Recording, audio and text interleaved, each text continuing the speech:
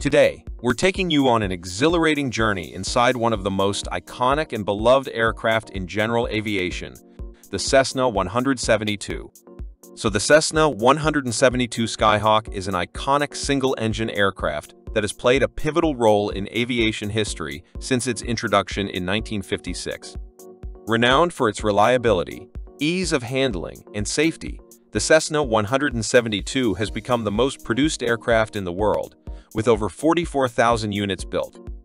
The Cessna 172 Skyhawk made its first flight on June 12, 1955. It is manufactured by Cessna Aircraft Company, which is now part of Textron Aviation. The main competitors of the Cessna 172 Skyhawk today include Piper PA-28 Cherokee, Diamond DA40, and Cirrus SR20. The interior of the Cessna 172 is designed to provide comfort and functionality for student pilots, instructors, and observers alike. The Cessna 172 typically accommodates four people, including a pilot and three passengers. The seats can be upholstered in various materials, such as leather or vinyl, with options for custom designs and colors. Large windows provide excellent visibility for pilots and passengers, enhancing the flying experience. The cockpit of the Cessna 172 is designed to provide pilots with an intuitive and efficient flying experience, featuring advanced avionics and a user-friendly layout.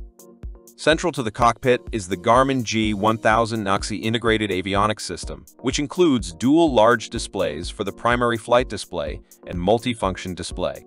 These screens provide critical flight information such as altitude, airspeed, heading, and navigation data, enhancing situational awareness. The cockpit also retains classic instruments like the airspeed indicator, attitude indicator, and altimeter, ensuring that pilots can rely on traditional gauges if needed. The Cessna 172 is equipped with Fowler flaps that extend and increase the wing area, improving lift during takeoff and landing. The flaps can deflect up to 40 degrees, enhancing the aircraft's low-speed performance.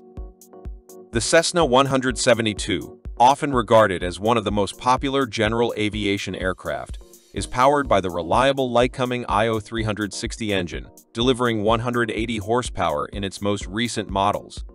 This engine allows the 172 to achieve a cruise speed of approximately 140 knots and a maximum range of around 696 nautical miles, making it ideal for both training and cross-country flights.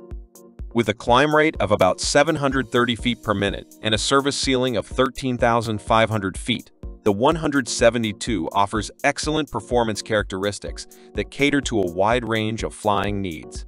The Cessna 172 and Cessna 170 are both classic aircraft from Cessna, but they differ significantly in design, performance, and intended use. Here's a detailed comparison. Engines The Cessna 172 feature the Lycoming IO360 engine, which generates between 160 to 180 horsepower in various models.